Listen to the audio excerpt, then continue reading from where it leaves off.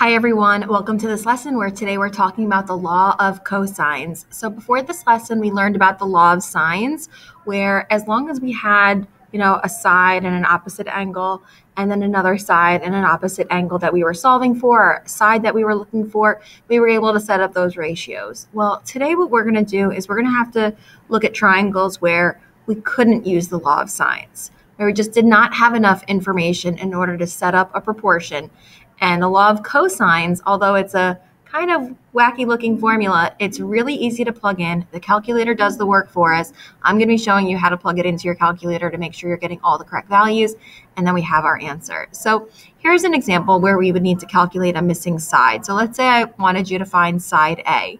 And yes, side A is across from angle A, which is 41, but notice I wouldn't be able to use law of sines here because I could say sine of A 41 over A is equal to, and then the moment I want to set up a ratio that, you know, I know an opposite angle and side with, and I realize I don't have that, I wouldn't be able to use it. So law of cosines is what comes into play.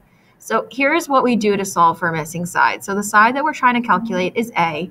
And so the side that you're trying to find is gets squared, and that's the beginning of the formula. So the side that we're trying to calculate squared is going to be equal to the square of the other two sides added up. Okay, so the sum of the other sides squared. So 10 squared plus 9 squared. Does not matter which one you technically call B or C, but of course, um, across from angle B is side B, across from angle C is side C. So 10 squared plus 9 squared. And then we do minus 2 times that b value times c, so 2 times 10 times 9, and then times the cosine of that angle.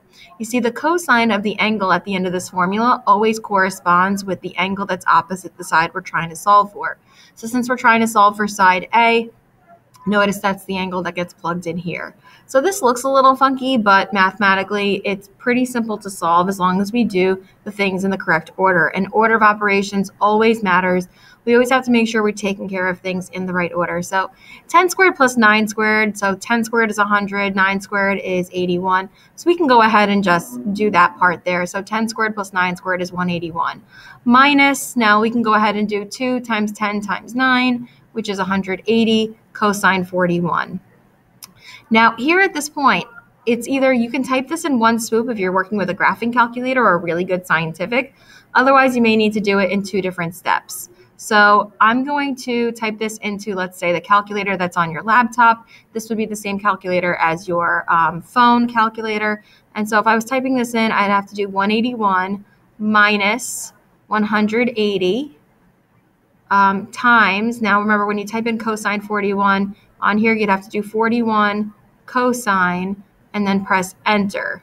And so I end up getting that a squared is equal to 45.152 and then to find the square root of it, since that's a squared, I would need to take my square root and I'm going to round to the nearest tenths and I get 6.7. If you are working with a graphing calculator, um, I'm going to show you, you can just type this into one swoop. If you're working with like a TI 84 or 83, um, also if you're working with like one of the TI 30s, that's going to let you type it in into one swoop as well. So now let's find another set of sides. So I've got two practice problems for us. So here it says x squared. Um, so I'm solving for x. So here's what the formula looks like. So the side you're trying to solve for, squared, is equal to the sum of the other two sides squared, so 7 squared plus 9 squared, minus 2 times those sides of 7 and 9 times the cosine of the angle we're solving for. Okay, so that is the formula. So the side squared that we're solving for is equal to the sum of the other two sides squared minus 2 times those sides times the cosine of the angle opposite the side we're solving for. So 7 squared is 49, 9 squared is 81, so 49 plus 81 is 130, minus, let's do 2 times 7 times 9, so 2 times 7 is 14, 14 times 9 is 126, and now I'm going to type this into my calculator. Again, I'm going to use the calculator that's on the laptop or what would be on your phone. So 130 minus 126 times, so I need to do cosine 85. So I'm going to type in 85 cosine, press enter. and I get 119.018. I need to then take the square root. So of course I'm going to use my square root button and I get about 10.9. Okay, another example here, I need to solve for this side x. So this side is equal, squared is equal to the sum of the other two sides squared minus 2 times 8 and 12 times cosine of 65. So now 8 squared is 64. Uh, one, uh, 12 squared is 144. Add them up, I get 208. 2 times 8 is 16. Times 12 is 192. Cosine 65. And let me move myself over. So now let's type this in. So now this would be 208 minus 192 times 65 cosine, enter. I get 126.857. Take the square root, and I get 11.3 rounded to the 10th place.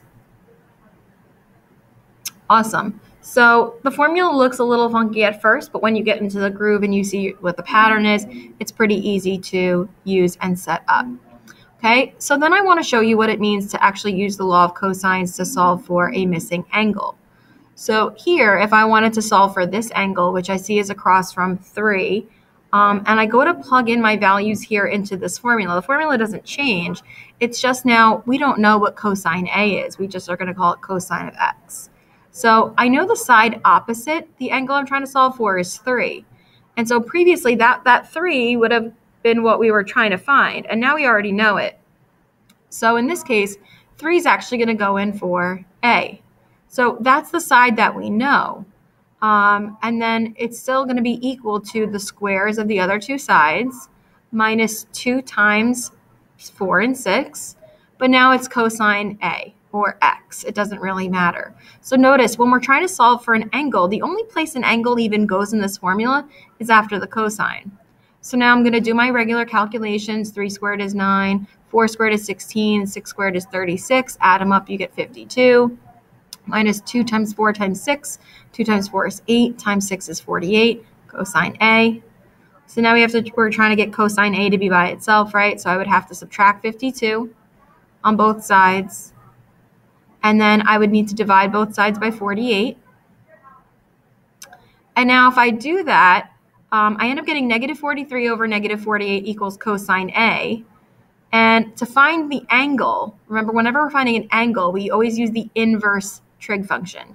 So we're going to say the, in, the inverse cosine. Now, negative 43 over negative 48, a negative divided by a negative is always positive. So this is really just 43 over 48.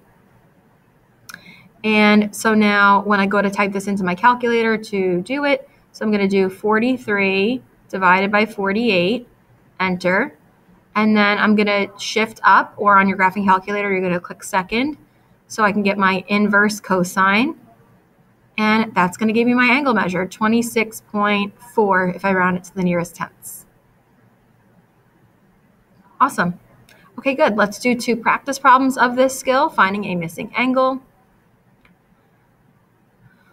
Okay, that is good. Okay, so for this first one here, I'm solving for angle x, which is at b. Um, I know the opposite side is 6, so I'm going to start this with 6 squared equals the sum of the squares of the other two sides, so 3 squared plus 4 squared minus 2 times 3 and 4 cosine b, or I can call it x, whatever. 6 squared is 36. Then I've got 3 squared is 9 uh, 4 squared is 16. Add them up, I get 25. 2 times 3 is 6. Times 4 is 24. Remember, the whole goal is to get cosine b now by itself. So I'm going to subtract 25. So I have 11 equals negative 24 cosine b. I'm going to then divide both sides by negative 24. Now to find the angle of B, I have to make sure I use the inverse cosine function. I know it's pretty light on my screen here, but it's the inverse cosine of 11 over uh, negative 24. So I'm going to do 11 divided by 24 negative equals, then I'm to, I'm still in my inverse cosine, and I get 117.3. Okay, so that angle would be 117.3 rounded to the nearest tenths. Now, something else that you're also going to notice is anytime you're actually plugging in a negative number, you're going to get an angle that's bigger than 90 degrees, which is pretty cool. It's going to be an obtuse angle. Anytime the fraction is uh, a positive, you're going to get uh, an acute angle. Okay, and now for my last one here. So I'm solving for this angle. So the side opposite for 4 squared equals the sum of the squares of the other two sides minus 2 times 3 and 6 cosine C. 4 squared is 16.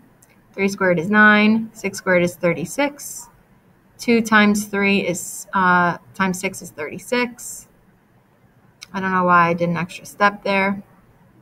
Subtract 45 on both sides. Divide both sides by negative 36.